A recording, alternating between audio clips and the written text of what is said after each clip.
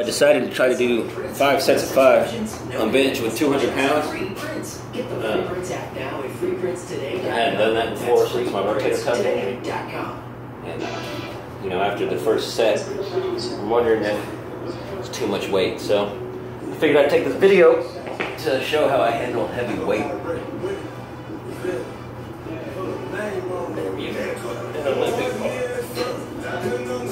Also, experimenting with using a belt for the first time.